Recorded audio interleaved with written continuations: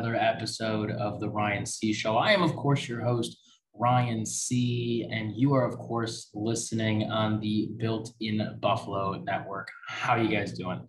Um, so, first, I want to, I, I, do want to give a shout out uh, to two different things. One of them is a personal plug, but also one that is a plug for built in Buffalo. Let me just bring it up here. While I'm doing that, I do want to give a shout out really quick to some non Buffalo based hockey information. Um, the Seattle Kraken, the newest franchise in the National Hockey League, has won their first game. They are one and one on the season as of the recording of this podcast or, this episode. So, congratulations, Seattle. Um, that said, uh, Built in Buffalo recently partnered with LDG Sports and Entertainment, and uh, you guys have not been showing the love, uh, and which is very surprising of both fans of Buffalo, people of Buffalo, and especially Built in Buffalo. Um, so maybe we just haven't been marketing that good to you. Uh, so I'm going to do it right here, really quick, with a quick rundown. We just hit a massive episode drop. So remember, we're an official partner, the only official partner uh, as of right now, Built in Buffalo. Massive episode drop uh, has occurred this past week. We are in full speed ahead mode at LDG and Built in Buffalo. So let me get to it. If you like sports betting, you're thinking of getting into sports betting, Cody Couch, who is a personal friend of mine, um, he knows what he's talking about. You can get your NFL uh, betting lines on your week by week episode of Big Bet Ballers. Again, that is Big Bet Ballers. Week six just posted. Um, go ahead and give that a listen before submitting your bets heading into this NFL week. Uh, following up with that, the Rust Belt Report just had two recent episodes. Uh, that is a show that's hosted by me uh, both Justice and Akeem A. Rich from Built in Buffalo here have been guests on it and will be again in the future. Um, that is all about the NFL. Uh, episode three, David versus Goliath with A. Rich was an amazing, amazing uh, episode. Uh, and then episode four, which just dropped, which is called Exposed or is titled Exposed, um, also just dropped recently as well. So go ahead, watch those. Um, but again, not done yet. Season three premiere, part one of the rivalry, which is all about hockey, um, dropped as well. And if you like wrestling, Dead Horses and DDTs, episode seven uh, just dropped as well. That is, however, a bi weekly podcast. So you're only going to get it about twice a month. So that's so much has dropped. Go listen to it, go consume the content. It's so different from what we're doing at Built in Buffalo. However, it's one and the same. I just needed to get those two things out of the way before we get into uh, what we're talking about here today. So as you can see, I'm all I'm all Sabres out.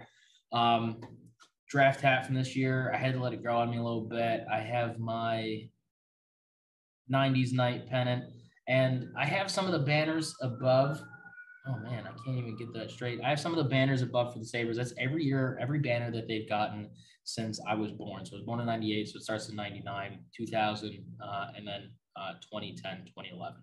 Um, so there's a reason for this. Obviously, yes, it's huge news that the Buffalo Bills just beat the Chiefs, but we talked so much about the Chiefs, especially in the Rust Belt episode, the Rust Belt Report episode with A. Rich Akeem where we talked about the Chiefs. I even talked about the Chiefs uh, last week on the Ryan C show with Justice as well. Um, so we're going to talk about that here, but let's talk about the Sabres. Let's get into this. Um, man, the Sabres might not be as bad as we all thought that they were going to be. Last season, everybody said, hey, this is potentially a playoff contending team. Uh, we were bottom of the basement. Um, you know, we were in the basement for the league. In fact, we were one win out of being in the extended playoff spot. However, our loss to Montreal was Montreal's gain, as that win against us launched them into uh, the playoffs last year. And so everybody thought, well, you know, they weren't going to make it in the first place. Is Montreal that good of a team? They're going to get swept in the first round. They did not. They fought their way to the Stanley Cup finals where they did get swept, but they fought their way to the finals. They were a finalist team. We played them, and we, being the Buffalo Sabres, played them in the home opener, and we beat the brakes off of them. All right. Uh, this is a five and one score. Uh, so that puts Montreal. Uh, I do want to say that Montreal has played already. So I don't know exactly what their record is, but this puts the Sabres.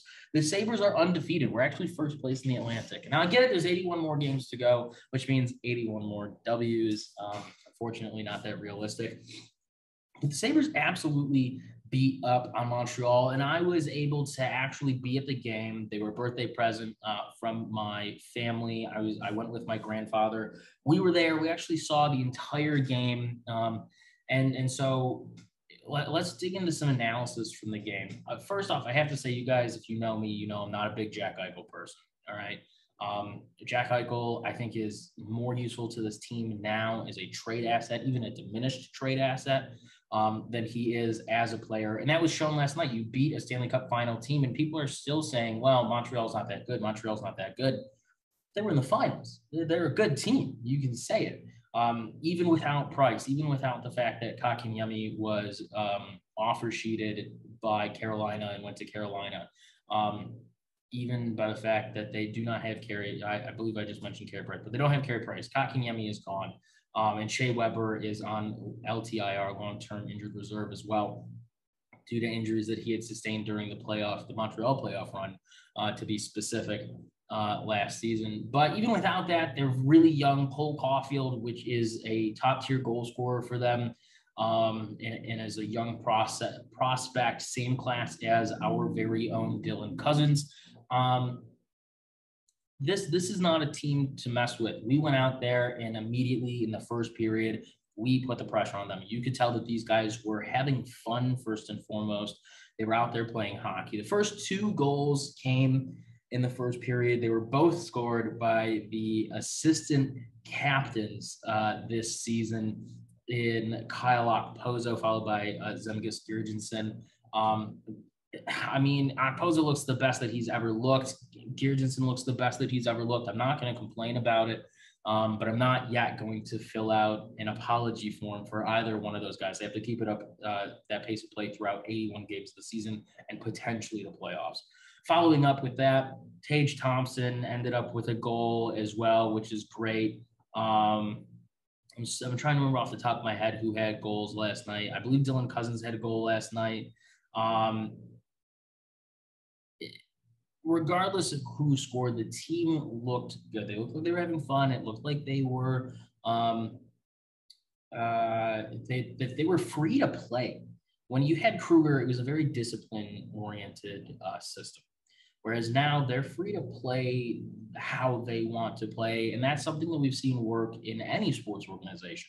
Um, we saw how it was detrimental to the Buffalo Bills for so many years. We see um, though some success in what um, the New England Patriots were able to achieve, but also that left players unhappy, taking hometown discounts and not getting paid what they what their talent level was on the field. Um, going into the second period, the boys looked like they kind of let up a little bit. But once once Montreal scored their that one goal, uh, it was back on. It was it was back on. Um, well, that occurred in the first, so they kind of slowed up around the first, but it was back on in the second um, after still slowing it uh, down a little bit once they realized that Montreal was putting, you know, kind of their foot to the gas as well. Um, Craig Anderson was was really integral in stopping some some really big shots. Uh, however, the one glaring mistake for the entire night for both the defense and goaltending was the textbook goal um, that Montreal set up in the first period. Um, it was a textbook setup. You could see it coming from miles away.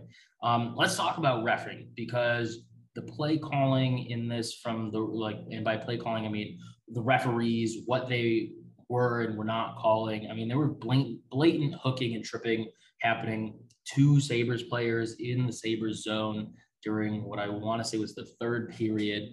Um, that wasn't called, and thankfully it wasn't called um, because we ended up scoring a goal like 15 seconds later, right off of that.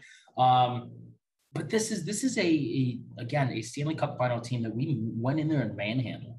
Um, we're obviously playing weaker teams coming up here in the first little bit of the season. Uh, Arizona being today, as you're watching this episode on Saturday. Um, but we are also playing harder teams, teams that we did not play last year because of the divisional realignment um, for the NHL.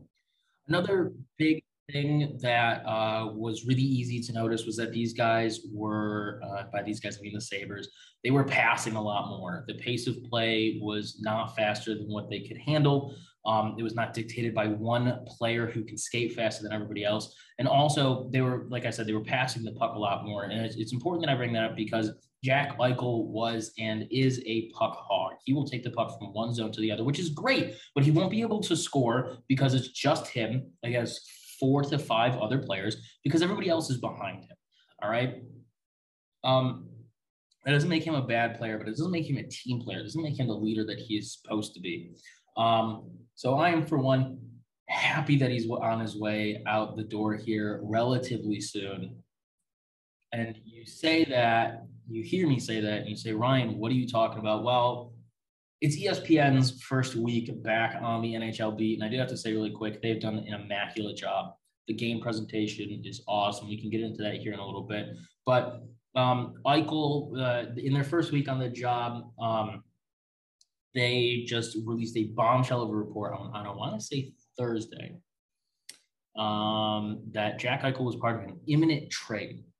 Uh, what the Sabres believed was an imminent trade. And part of this imminent trade had um, Jack Eichel going to an undisclosed team uh, for what was going to be a, a good trade between both uh, franchises involved. Again, it was not disclosed, but it was believed to be imminent. However, the team that this was to fell silent on Friday. The team has not heard from them since. Now, again, I'm recording this on Friday. You're watching this on Saturday. So if it changes in any time in between, I apologize that you're getting this late. Um, obviously, I cannot anticipate it, um, but I wish that I could. The uh, that said, um, any of the five teams that are rumored to be involved in uh, trade talks with the Buffalo Sabres specifically about Jack Eichel. All five would allow him to have his surgery. All five would also require uh, conditions on the picks uh, or any picks involved um, with the Sabres as well. And that is all, of course, something that we've reported on before here at the Ryan C Show. I believe I did that episode with Justice. So you can go back and listen to that conversation or watch, listen and watch that conversation. Um, because we talked about some of the conditions uh, that were coming out on some of those picks. But yes, Jack Eichel was apparently supposed to be traded on Thursday. So before the season even kicked off, uh, just a few hours before, or sorry, a week before. So not this past Thursday, um, the Thursday before. So the report came out this past Thursday. The Thursday before is when this was supposed to happen. So about a week before the season kicked off, Jack Eichel was going to be traded. That said, we're going to get into the Bills here really quick, um, and we're going to weave in and out of the hockey and football talks. That way I keep your guys' attention. I know that the Sabres are not that exciting to talk about right now, but it was an exciting game. It's going to be a good year no matter what. Um, and a lot of young guys are going to have opportunities to come up and kind of, you know, uh, strut their stuff. But the Bills did beat the Chiefs, and this is this is really big because, of course, the Chiefs were the team to beat in the AFC as they were the AFC champions. Obviously, Buffalo losing to them by a score of two uh, in last year's AFC championship game. We all know the uh, picture of uh, Stefon Diggs watching the confetti fall, watching the Chiefs celebrate as well. Um, the Bills beat the Chiefs by simply doing what they set out to do after the AFC Championship game. They put pressure on the quarterback, Greg Rousseau, AJ Epenesa, uh, Boogie Basham. They were able to go and put pressure on the quarterback, forcing Mahomes into uncomfortable situations, things he did not expect from the Buffalo Bills. Now, that's not without saying that we had some help from within the Chiefs themselves we have the number one defense. We have one of the uh, top offenses in the NFL. And of course, Patrick Mahomes and their offense, it's deep, it's versatile, it's dynamic, but their offense or their defense stinks. I'm telling you, their defense stinks. They're currently one of the worst in the league, if not the worst in the league. Um, and their backfield is just uh, atrocious, tremendously atrocious uh, for wow, I cannot speak today. It is tremendously just trash in the backfield. Let's say that. Um, and so it was easy for us to kind of beat up them on an beat up on their defense from an offensive point of view. But our our defense looked like it had was seasoned. Um, it's filled with a lot of rookies. It's filled with uh, veterans that were just coming off of injuries, just like Jordan Poyer, who was out the week before. Matt Milano didn't even play. AJ Klein came in and took his place. AJ Klein did not miss a beat. This is a team that if you see them in the playoffs, you're going to beat them. That said, that said, I don't think you're going to see the Chiefs, the Kansas City Chiefs, in the playoffs this year. Now, listen, it might be a hot take. but I think that's definitely a hot take, right? I mean, that's a team that two years ago won Super Bowl. They ran it back last year, losing to Tampa Bay, but still making it, beating the Buffalo Bills, um, who were on an unprecedented run uh, since the 90s.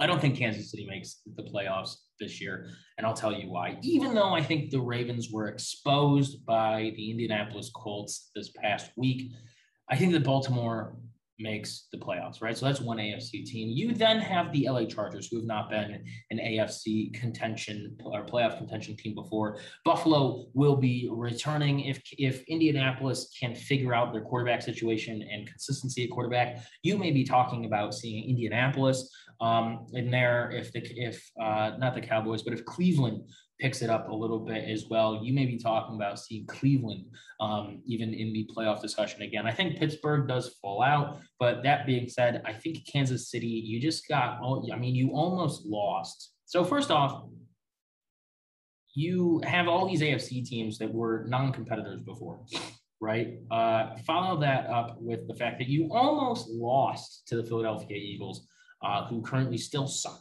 Um, you almost lost to the Philadelphia Eagles. You then come in and you get manhandled by the Buffalo Bills.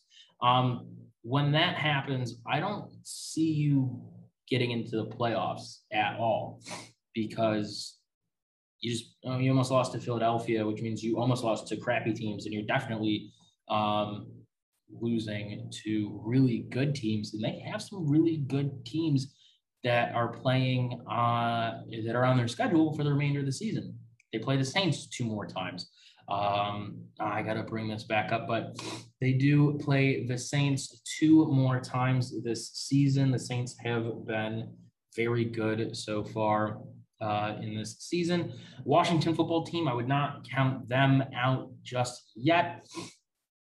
Um, let's see. It looks like they are playing the Titans, uh, the Giants, Packers, Raiders, the Cowboys, Broncos, uh, Raiders again, the Chargers, Bengals, Broncos. And I mean, hey, the Bengals almost just beat Green Bay. So they have some tough teams. Uh, Washington is two and three, same record as Kansas City. I think they're going to start to figure it out, especially after watching what Buffalo just did. Who they had just lost to Buffalo, watching what Buffalo just did against Kansas City as well. I think you're potentially looking at a, a two and four Chiefs team after Washington. Again, looking at a two and five Chiefs team after the Titans. Uh, definitely looking at probably three and six against the Packers. You're probably losing to the Raiders and the Cowboys and the Chargers and potentially the Bengals as well. So I, I don't think that it's a good season at all ahead for Kansas City. But hey, what do I know? Um, we will have to wait and see to find out. But I, I just legitimately don't think that it's in the cards for Kansas City this year. The reason being they bought a Super Bowl, they attempted to buy a second one. They now don't have the money to buy even playoff games. Whereas teams like Buffalo and Indianapolis and the Chargers, specifically Buffalo and Chargers, have built up a team over time with guys that the league has cast aside as saying they're not going to be good ever. Um, there's nothing good about them. Um, and also, uh, but these teams realizing, hey, these are really good, talented players um, like Herbert and Allen uh, and some of the guys that they've brought in off of free agency as well. So moving on from that, we are moving into uh, the Buccaneers. So we were just talking about the Buccaneers. Why are we talking about them now?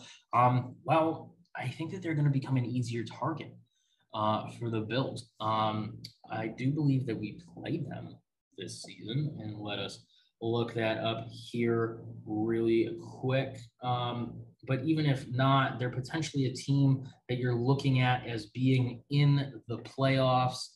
And let me see right here. Yes, we played the Buccaneers on December 12th just, uh, at 4:25. So not a primetime game, but later on a Sunday.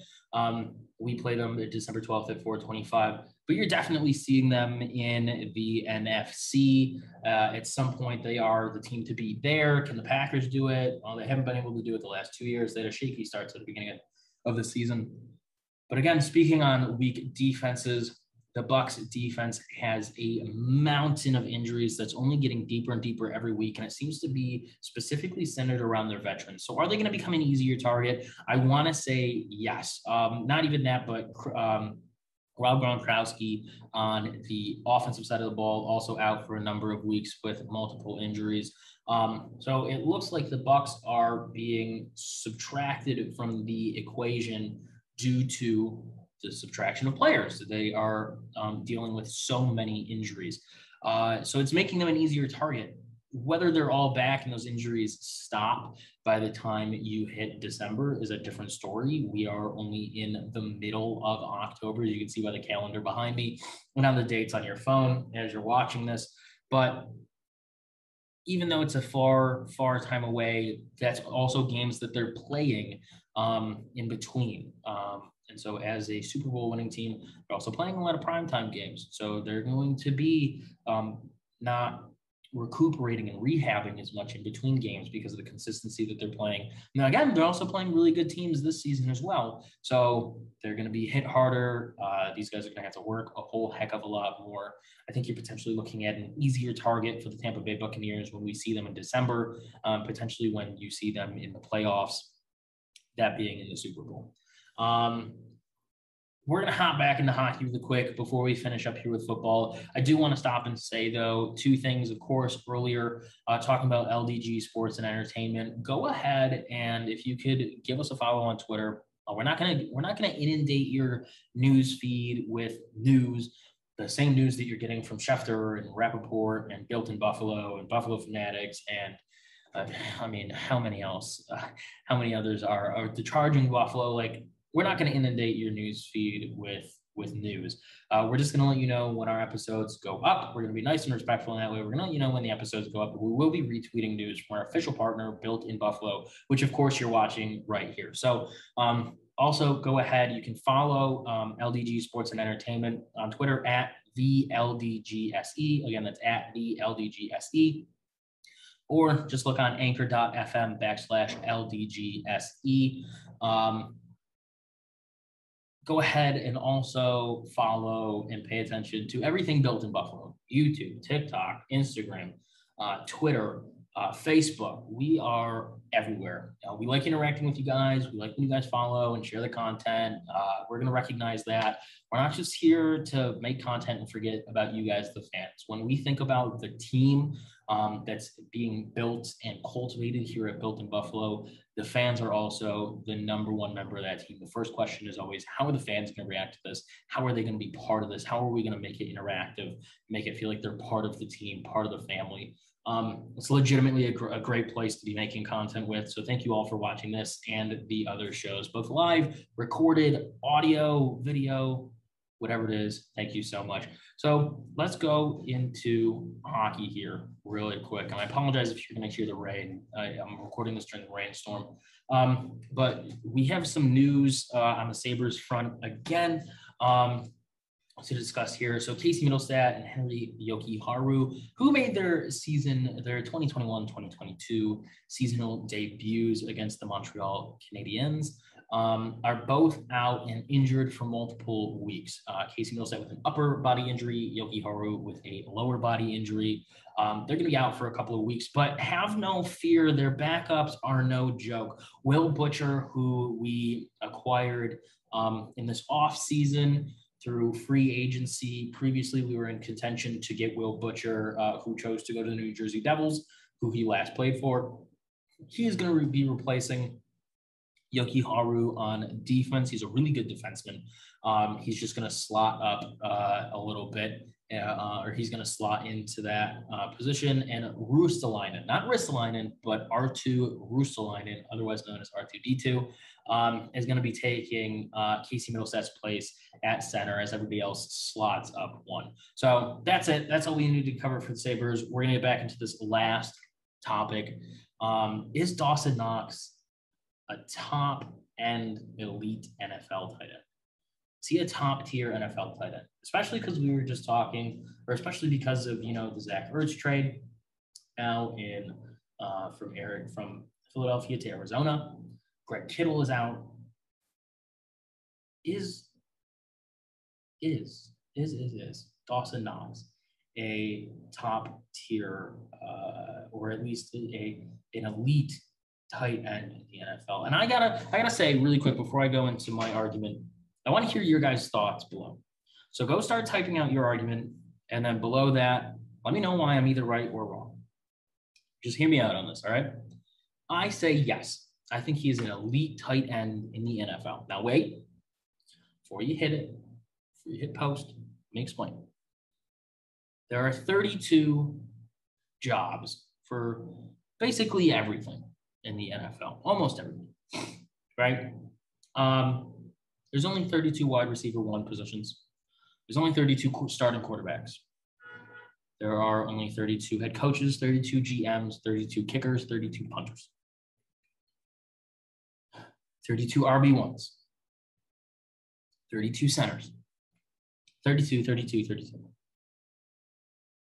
There are not 32 TE1 position, true TE1 positions in the NFL. Now you might be asking yourself, well, what are you what are you talking about? Every team has tight end. Yeah, you're correct. Every team does have a tight end. But not every team has a true TE1 position. There's a lack of talent at tight end one in the National Football League.